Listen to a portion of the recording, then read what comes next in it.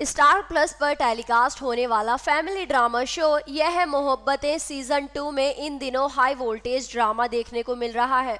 और साथ ही शो की मोहब्बत में अब आपको एक सांप भी दिखने वाला है। जी हाँ बता दें आपको कि जैसा कि अब तक आपने देखा कि शगुन सबको बताती हुई नज़र आती है कि उसने मनी के कत्ल के दिन आदित्य की कार को वहाँ पर देखा था। और ऐसा कहते ही शगुन बेहोश भी हो जाती है। और इसी के साथ ही अब आप ये भी देखेंगे कि ये सब सुनकर इशिता को काफ़ी धक्का लगने वाला है और वह यकीन ही नहीं कर पाती कि आदित्य ने ऐसा किया होगा। लेकिन फिर भी इशिता फैसला लेती है कि वह आदित्य पर नज़र रखेगी।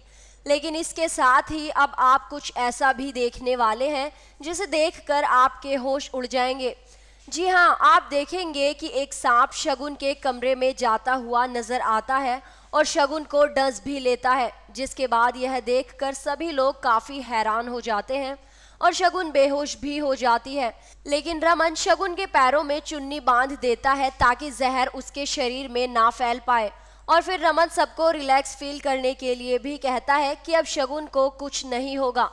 लेकिन वहीं इशिता सोचती है कि शायद यह आदित्य ने ही किया है, क्योंकि शगुन ने आदित्य की सच्चाई का पर्दाफाश कर दिया है। लेकिन क्या सच में आदित्य ने ही मनी का कत्ल किया है? न्यूज़ रूम से फरहीन की रिपोर्ट। सीरियल से जुड़ी अधिक जानकारी के लिए सब्सक्राइब कीजिए हिंदी डाक।